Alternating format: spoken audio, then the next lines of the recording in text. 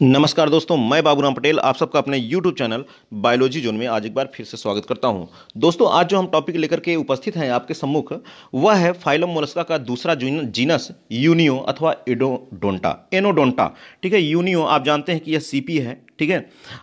First genus था Mollusca में, हम लोगों ने पढ़ा था पाइला, आज यह दूसरा है यूनियो। तो चलिए देख लिया जाए। देखिए, सबसे पहली बात तो यह कि यह फ्रेश वाटर मसल कहलाता है, ठीक है? फ्रेश वाटर मसल स्वच्छ जली, स्वच्छ जल में रहने वाला है और सेम यूनियो की ही तरह एकदम हु इसकी एक दूसरी स्पीसीज भी है, लैमली डेंस, ठीक है? लैमली डेंस तो बिल्कुल बिलोंग करता है, एकदम ज़्यादा से ज़्यादा मैचिंग करता है इस यूनियो से लैमली डेंस भी, ठीक है? तो कुछ लोग यहाँ पर यूनियो को पढ़ रहे हैं, अर्थात लैमली डेंस को भी पढ़ लिया, ठीक है? अब इसके अगर क्लासिफिकेशन की अगर हम बात करें, क्लासिफिकेशन, इसके वर्गीकरण की बात करें, यूनियो के वर्गीकरण तो आप जान रहे हैं कि इसका फाइलम क्या है दोस्त? फाइलम इसका है मोलस्का, ठीक है? फाइलम क्या है? मोलस्का है और इसका क्लास है पैलिसीपोडा आप जानते हैं गैस्ट्रोपोडा का सदस्य था पाइला ठीक है? ये पैलिसीपोडा का सदस्य है। पैलिसीपोडा का दूसरा का नाम है बायोएल्विया बायोएल्विया इसलिए कहते हैं इसमें जो वाल्व होता है, दो ठो खुलते हैं, दो खुलते हैं, ठीक है? बिल्कुल बीच से। और एक तीसरा इसके क्लास का नाम है लैमिली ब्रैंकिएटा लैमिली ब्रैंकिएटा इसका। देखिए, तीन नाम है भाई, तीन नाम है, ठीक है? तो पैलिसिपोडा है और बाइवेल्विया है और लैमली ब्रैंकिएटा है। तीन में इसके क्लास के नाम है, कुछ भी आ जाए आप इससे, आप समझ लीजिएगा, ठीक है? अगर इसके आर्डर की बात करें दोस्त, आर्डर की बात करें तो इसका जो आर्डर है, यू लैमली ब्रैंकिया है। यू लैमली ब्रैंकिया है इसका आर्डर और इस जीनस हम लोग क्या पढ़ रहे हैं भाई? यूनियो अथवा एनोडोंटा। यूनियो अथवा एनोडोंटा, इसकी फैमिली होती है यूनिडी। यूनिडी, ठीक है? इसके फैमिली होती है। फैमिली हम देखिए थोड़ा सा अलग से लिख दिए हैं। अब और ख़ास बात इसकी देखा जाए भाई, ये कहाँ पाया जाता है यूनियो? यूनियो कहाँ पाया जाता है? फाउंड इन लैक यह लैक में भी होता है, ठीक है? झील रिवर्स में और स्ट्रीम्स मतलब जो धाराएँ हैं, नदियों की, उसमें भी यह मिलता है, ठीक है? Body has cell body has cell इसमें भी इसकी शरीर जो होती है, ये क्या रखती है?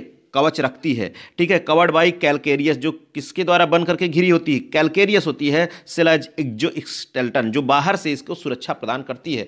बाहर से घेरे रहती है, ठीक है, इसके जो सेल्स होती है, कैलकेरियस होती है, और एक जो स्केल्टन की तरह यह कार्य करती है, बाहर की तरफ़ से आवरण बना करके इसकी बॉडी को ढके रहती है, इसके अंदर जो भी होता है विसरल मॉस ठीक है। बिल्कुल सेम एज अ पाइला की तरह है, ठीक है? कैसी, देखिए सेल सेम एज पाइला ठीक है? जैसे पाइला को आपने देखा, उसी तरह का यूनियो भी है।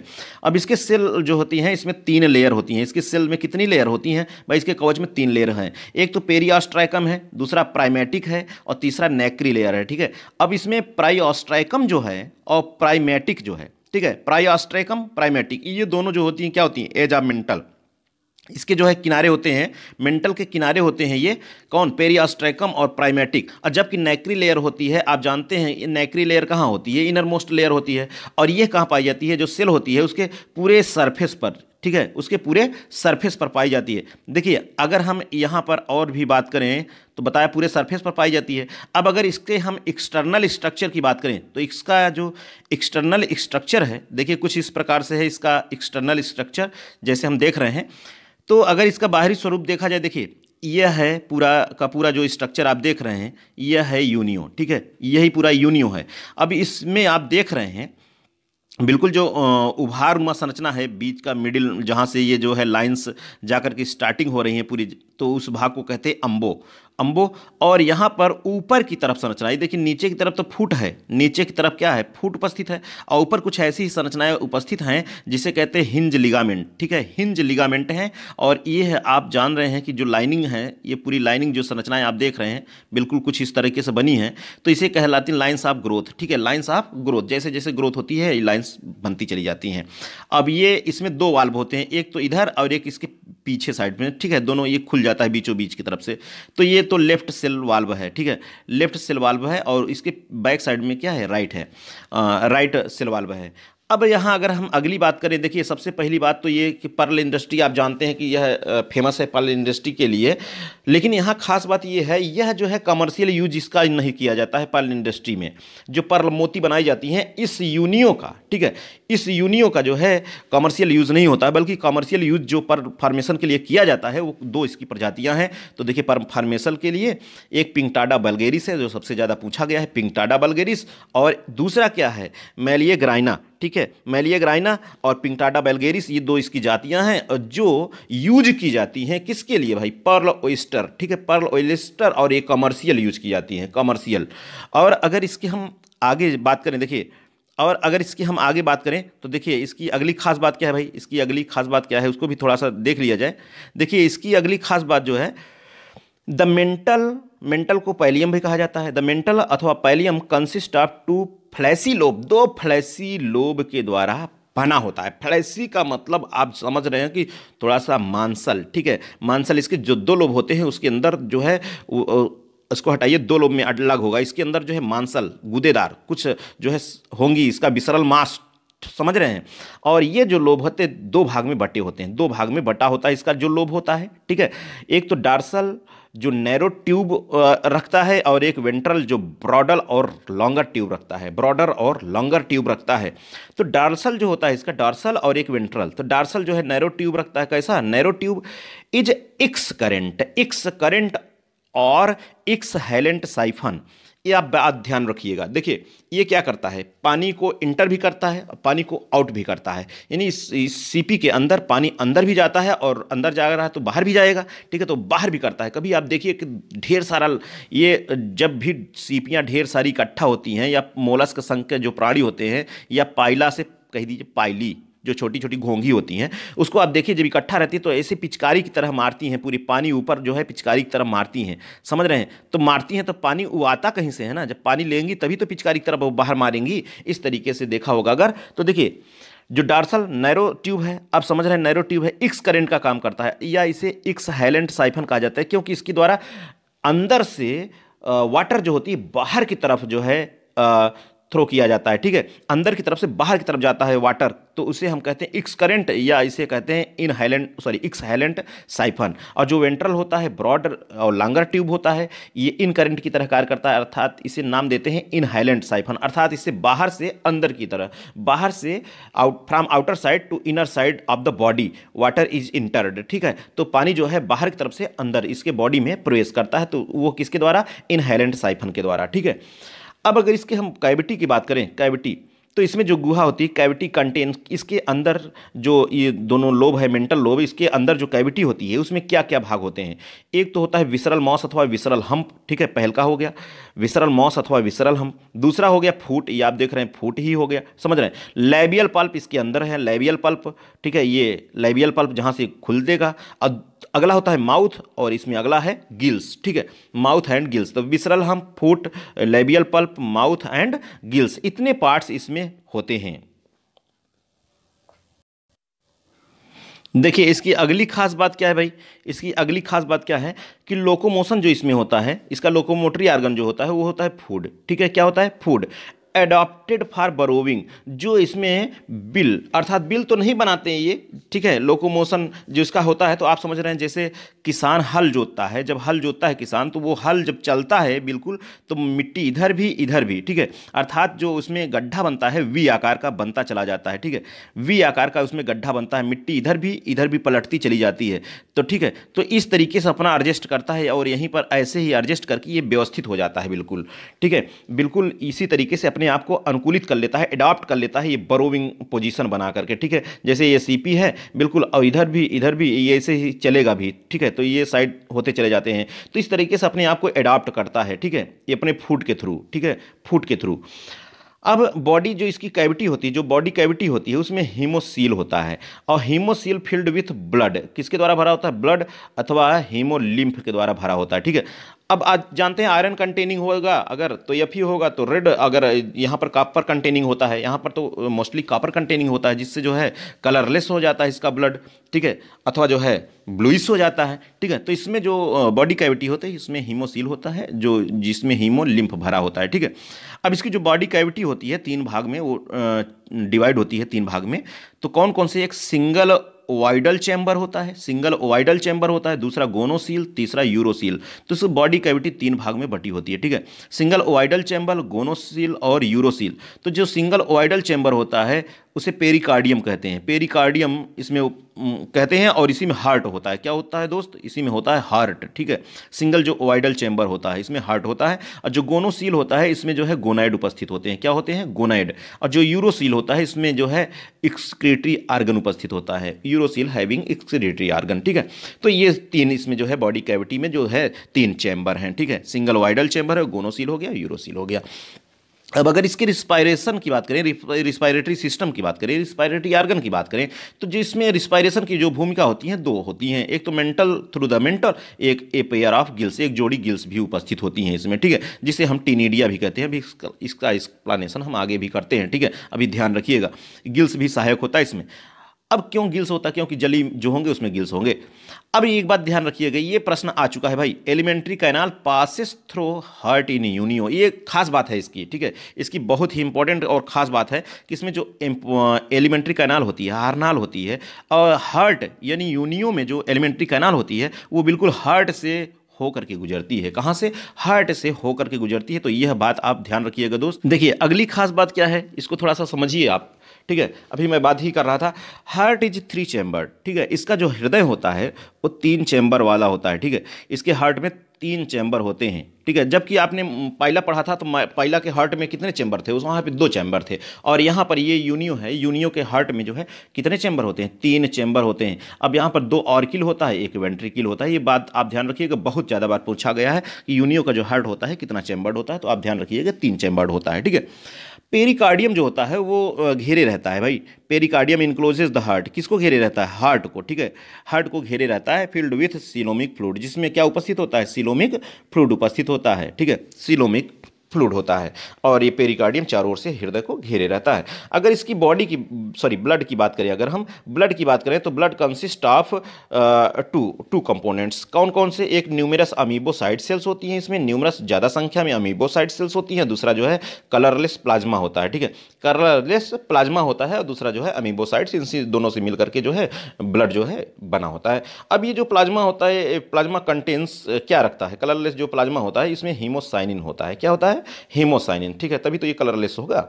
और इसका जो एक्सक्रिटरी सिस्टम होता है भाई, उत्सर्जी जो इसका तंत्र होता है, पूरा एक्सक्रिटरी सिस्टम अब यहाँ ध्यान रखिएगा। एक pair of kidney one pair of kidney मतलब एक जोड़ी जो है किडनी होती है और जैसे हम कहते हैं किडनी, अगर है किडनी संरचना है तो उसे हम नेफ्रीडिया क्या कहलाता है? नेफ्रीडिया और आपने समझा है कि इसमें दो तरीके से जो अभी हम बता दें कि एक तो होता है इसमें जो है एक तंत्र का एक आर्गन ऑफ़ बोजानस, ठीक है? आर्गन ऑफ़ बोजानस और दूसरा है केवर्स आर्गन। तो जो यूनियो है, यूनियो का मोस्टली जो रिस्पायरेटरी जो सिस्टम है, वो मुख्य रूप से वो जाता है, जो अब कई बार ज़्यादा ज़्यादा पूछा गया है तो उसका क्या होता है? तो केवर्स आर्गन होता है, ठीक है? जो आर्गन ऑफ़ बोजानस है पाइला में होता है। क्या किसका है? ये मुख्य रूप से पाइला का है, आर्गन ऑफ़ बोजाइनस। और ये जो केबर्स आर्गन है, ये मुख्य रूप से यूनियो का है। जो पेरिकार्डियल, जिसमें क्या उपस्थित होती है? इस केबर्स आर्गन में पेरिकार्डियल ग्लैंड उपस्थित होती है भाई। पेरिकार्डियल ग्लैंड तो ये आप ध्यान रखिएगा दोस्त, ठीक है? देखिए, और अगर हम इसकी बात करें भाई, और अगर इसकी हम बात करें तो इसमें मुख्य रूप से जो सेंट्रल नर्वस सिस्टम होता है C N S have three pair of ganglia ganglia होते हैं, तीन जोड़ी गैंगलिया होते हैं इसके सेंट्रल नर्वस सिस्टम में, ठीक है? और इसका जो तीन पेयर जो गैंगलिया हैं, वो कौन कौन से हैं? देखिए, इसमें कौन कौन से होते हैं? एक तो होता है सेरि सेरिब्रो प्ल्यूरल ग्लैंगलिया ठीक है? सेरिब्रो प्ल्यूरल गैंगलिया दूसरा पेडल गैंगलिया तीसरा विसरल गैंगलिया तो ये तीन होते हैं, ठीक है? तीन पेयर जो है गैंगलिया होते हैं। और जो सेरिब्रो प्ल्यूरल गैंगलिया होता है, इसमें क्या उपस्थित होगा भाई? इसमें हेड होता है। और ये जो पेडल गैंगलिया होता है, इसमें मोस्टली क्या होता है भाई? जो फुट होता है फुट फॉर्मेशन करता है। और विसरल जो गैंगलिया है, ये विसरल ऑर्गन्स होते हैं। इसमें क्या होते हैं भाई? विसरल ऑर्गन्स होते हैं, ठीक है? तो ये बात आप ध्यान रखिएगा कि इसमें जो तीन पेयर गैंगलिया होते हैं, इसमें हेड किसमें होता है और फुट किसमें होता है और विसरल ऑर्गन किसमें होते हैं, किस गैंगलिया में होते हैं तो इसे भी आप ध्यान रखिएगा। देखिए, अगर इसके हम सेंस का आर्गन की बात करें भाई, किसकी बात करें अगर हम सेंस आर्गन किसकी बात करें तो इसमें थोड़ा सा लेस डेवलप होता है मतलब कम विकसित होता है सेंस आर्गन और इसमें मोस्ट मुख्य रूप से जो आई होता है और टेंटिकल्स होते हैं तो मोस्टली अपसेंट होते हैं, ठीक है? आई और टेंटिकल्स इसमें क्या होते हैं? अपसेंट होते हैं, ठीक है? तो इसमें सेंस आर्गन होता क्या है? तो इसका मुख्य जो सेंस आर्गन्स है भाई, जिसके जो मुख्य सेंस आर्गन जब ये आई और टेंटिकल्स एब्सेंट हैं तो कुछ ना कुछ तो होंगे भाई जो कार्य करेंगे। तो जो इसके मेन सेंस आर्गन होते हैं, वो एक जोड़ी स्टेटोसिस्ट होता है, ठीक है? एक जोड़ी क्या होता है? स्टेटोसिस्ट होता है और एक जोड़ी ऑस्फ्रेडियम होता है और स्केटर्ड इपीथीलियल सेल्स होती हैं इसके सेंस आर्गन में, ठीक है? अब आप समझ रहे हैं कि जो एक पेयर एक पेयर ऑस्प्रिडियम होता है, इसका काम होता है कीमो रिसेप्टर ठीक है? किसका काम करता है? ये कीमोरिसेप्टर का, ठीक है? To test the chemical nature of water ठीक है? और जो स्केटर्ड इपिथेलियल होते हैं, इस थिग्मो रिसेप्टर का कार्य करता भी है, फ़ोटो रिसेप्टर का काम करता है, ठीक है, दोनों का ही ये कार्य करता है स्केटर्ड इपिथेलियल जो सेल्स होती हैं। अब इसकी हम बात करते हैं रिप्रोडक्टिव सिस्टम की, ठीक है, रिप्रोडक्टिव सिस्टम की अगर इसकी हम बात करें, देखिए, रिप्रोडक्टिव सिस्टम की इसके जनन तंत्र जो होता है, यूनियो कैसे होते हैं, ये डायोसियस होते हैं, अर्थात इसमें जो है सेक्स आर सेपरेट होते हैं, ठीक है, सेक्स मेल अलग और फीमेल अलग हो गए, दोनों अलग अलग होते हैं इसमें, ठीक है। अर्थात एक ये डायोसियस होते हैं सेक्सेस इसमें क्या होते हैं? सेपरेट होते हैं। और जो इसमें फर्टिलाइजेशन की क्रिया, अभी मैं इसकी पूरी विस्तार से इसका डिटेल अभी आपको दिखा रहा हूँ विथ फिगर ठीक है? फिगर के साथ। तो फर्टिलाइजेशन जो होता है, इसमें कैसे होता है? Take place in water tube of female यानी जिसमें फर्टिलाइजेशन होता है, पानी में, जल की धारा में, और फीमेल के ट्यूब में होती है, ठीक है? कहाँ होती है? फीमेल के ट्यूब में होती है। इक्स यूजली फर्टिलाइज इन अगस्त, जो इसमें इग होते हैं, अंडे निषेचित होते हैं। कब निषेचित होते हैं? वो निषेचित होते हैं अगस्त में निषेचित होते हैं। दोस्त, इसे भी आप ध्यान रखिएगा। देखिए, एक बात और थोड़ा सा यहाँ आप ध्यान रखिएगा। जो इसमें क्लीवेज होता है, विदलन होता है, वो अनइक्वल होता है और होलोब्लास्टिक होता है, ठीक है? अनइक्वल और होलोब्लास्टिक और इसका मुख्य इंपॉर्टेंट जो क्वेश्चन है लार्वा लार्वा आप ध्यान रखिएगा, बहुत बार पूछा जाता है, इसका लार्वा क्या है? ग्लॉचीडियम ठीक है? कौन सा लार्वा है? Glochidium larva glochidium larva found in Unio ठीक है? आप इसे ध्यान रखिएगा भाई। और ये माइन्यूट लार्वा होता है, बहुत छोटा होता है। ये कितना एम mm से कितना एम mm तक होता है? Zero point two M M to zero point four M M width ठीक है इसकी, जो वाइट्स होती है। और मीन्स इसका मतलब क्या है? इतना माइन्यूट होने का मतलब पॉइंट ऑफ़ एन एरोर ये जैसे एक तीर की नोक होती है, उस तीर की नोक, आप समझ रहे हैं कितनी नुकीली होती है, उतना पॉइंट बराबर ऐसा होता है ये ग्लाचिडियम लार्वा ठीक है? और इसकी और एक खास बात क्या है कि भाई लार्वल बाइसेस ठीक है, लार्वल, बेसेस पाए जाते हैं किसमें? ग्लॉचिडियम लार्वा में। इसके ग्लॉचिडियम लार्वा में ये टर्म भाई आ सकता है। लार्वल बिसेस, ठीक है तो आप इसे ध्यान रखिएगा। ग्लाचिडियम लार्वा में, लार्वल बिसेस भी होता है। चलिए, इसके हम लाइफ साइकिल की बात करते हैं अब। देखिए दोस्त, अब इसके अब हम लाइफ साइकिल की बात करते हैं। देखिए, अभी मैंने बताया कि भाई, ये सेक्सेस आर सेपरेट होते हैं इसमें। कैसे? देखिए, ध्यान दीजिए। कि ये मेल यूनियो है एक ये तो मेल यूनियो है, ठीक है? और ये क्या है? ये फीमेल यूनियो है। अब ये मेल और फीमेल दोनों यूनियो हैं। अब इसमें कैसे होता है? अब ये इसके द्वारा देख रहे हैं आप कि ये एक छोटी सी ट्यूब है, जिसमें से स्पर्म एक्सक्रीट होते रहे हैं। अब इसमें से स्पर्म जो होते हैं रिलीज़ होते हैं, ठीक है? रिलीज़ आप स्पर्म स्पर्म इसमें से रिलीज़ होते हैं। और रिलीज़ होते हैं बिल्कुल कहाँ? वाटर में, ठीक है? अब जब रिलीज़ होते हैं भाई तो उस समय ये फीमेल जो होता है, फीमेल का ये देख रहे हैं आप, ट्यूब देख रहे हैं, ये ट्यूब है। तो पूरे स्पर्म इस ट्यूब के अंदर क्या कर जाते हैं, इंटर कर जाते हैं। Fertilisation within water tubes, ठीक है? किसमें? ये इस ट्यूब में फर्टिलाइजेशन होता है इस फीमेल के यूनियो के अंदर। अब जैसे ही इसमें होता है तो उस समय इसमें जो होता है, क्या बनना शुरू हो जाते हैं भाई? इसमें उसी समय बनने शुरू होते हैं। इसके अंदर जाइगोड बनेगा तो लार्वल फार्मेशन में जाएगा ये। लार्वल, मैंने बताया, ग्लॉचिडियम लार्वा होता है इसमें। तो इसके अंदर जो है, जब इसमें फर्टिलाइजेशन की क्रिया होती है जाइगोड बनता है जाइगोड से जो है बनता है लार्वल फार्मेशन आती है। तब उस समय क्या होता है कि देखिए, brood sac outer gill lamina, outer gill lamina, containing, developing eggs और इसी में जो है इक्स जो है डेवलप होते रहते हैं, और उस समय डेवलप होकर के जब इग इसमें डेवलप हो जाते हैं, उस समय क्या होता है कि ये बिल्कुल उस इग को बिल्कुल थ्रो आउट करता है। थ्रो आउट करता है किसमें? जल में। जब ये थ्रो आउट करता है, उस समय ये देखिए, बिल्कुल इसी तरीके से जो इसमें डिस्चार्ज ऑफ़ ग्लाचीडिया है, अर्थात इसमें ग्लाचीडियम लार्वा का जो फॉर्मेशन होता है, ये एक ग्लाचिडियम लार्वा का फॉर्मेशन आप थोड़ा ध्यान रखिएगा, ये मैंने थोड़ा सा ऐसा बना दिया है कि ये लार्वल ग्लाचिडियम लार्वा है। अब इसको थोड़ा सा बना दिया हूँ, जैसे आप समझ रहे होंगे कोई दिया जल रहा है तो ऐसा नहीं है, ये बिल्कुल ये पॉइंट्स यहीं तक है, ठीक है?